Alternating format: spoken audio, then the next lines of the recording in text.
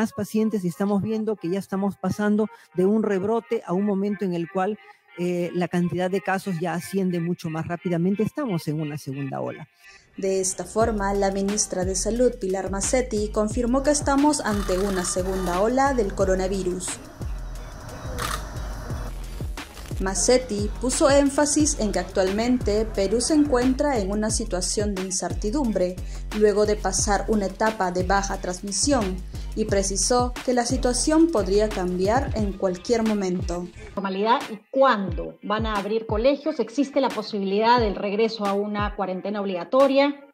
Eh, estamos en una situación de incertidumbre y eso es duro, pero tenemos que tenerlo claro.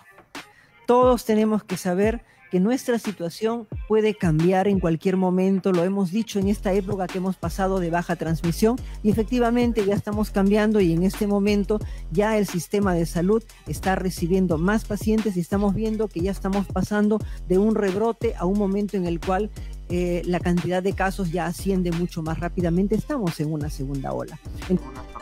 Asimismo, indicó que este año la presencia de la vacuna, en la medida que se vaya aplicando, ayudará a contener poco a poco la transmisión.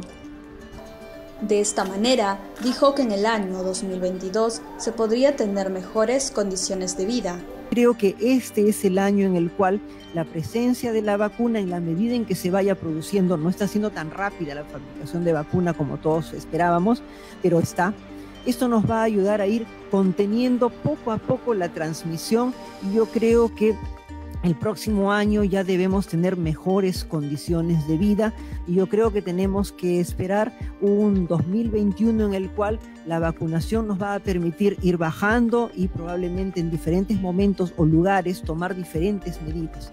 Por supuesto, si algo sale fuera de control, esto va a significar que nos vamos a ver obligados a tomar medidas más estrictas y creo que todos los ciudadanos tenemos que saberlo. La mejor contribución que podemos hacer nosotros es mantener todas las medidas de seguridad y la segunda mejor contribución que podemos hacer es reflexionar sobre nuestra responsabilidad con respecto a los demás ciudadanos y la posibilidad de que podamos vacunarnos. Hace algunos días, ya el Centro de Epidemiología, Prevención y Control de Enfermedades, entidad del Ministerio de Salud, había lanzado una alerta epidemiológica ante el incremento de casos positivos de COVID-19, número de decesos y hospitalizados en el Perú, dándonos así un adelanto.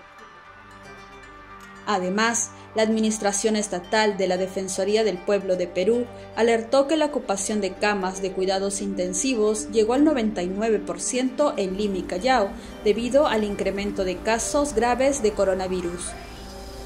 En la víspera, el MINSA ya había reportado 1.973 nuevos contagios y 1.720 en las últimas 24 horas. Sin duda una situación que está alertando a las autoridades del país.